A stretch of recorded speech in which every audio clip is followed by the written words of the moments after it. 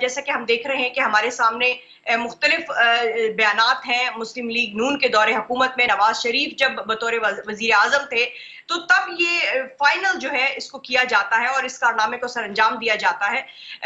लेकिन इसका बैकग्राउंड के हवाले से क्या कहा जाएगा? रहीम मेरा ख्याल है कि क्रेडिट तो पूरी कौम को जाता है और सिर्फ़ पाकिस्तानी कौम ही नहीं, जितने भी हमारे माजी के हुक्मरान रहे हैं, जुल्फ़ार अली भुट्टो हो उसके बाद जनरल ज़िया हो और उसके बाद बाकी पॉलिटिकल हमारी पार्टियाँ बरसर इकतदार रही हैं, उन सबको क्रेडिट जाता है। और बहरहाल सबसे ज़्यादा क्रेडिट तो डॉक्टर अब्दुल कदीर को जाता है, जिन्होंने अपना कैरियर छोड़ा, इस मुल्क के लिए अपना सारा कुछ कुर्बान किया और बाद में वो खुद डिसक्रेडिट भी हो गए। ये बहरहाल एक दुख की बात है इस पूरे मामले के अंदर। और उस वक्त तो चलिए जो जो था वो बहरहाल हो गया।